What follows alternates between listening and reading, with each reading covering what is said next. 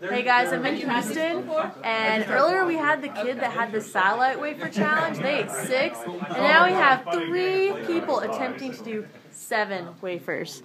All right. Okay. Oh man. All right, three, two, one, wafer. Oh, it's a close call. Whoa. Did you just see seven? No way. Nine. Nine? The women are giving a valiant effort.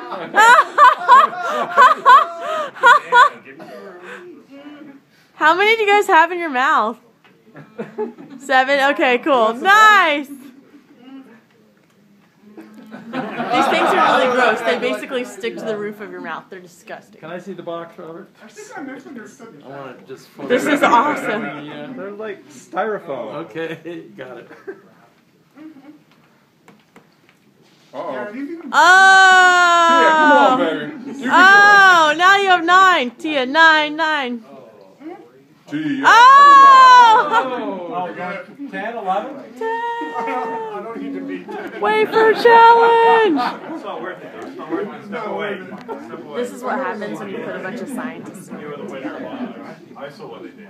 I heard that. Party. More. That's 13. More. Say hi. Hailey. More. She's up to 13. Wow, 13 wafers. Wow.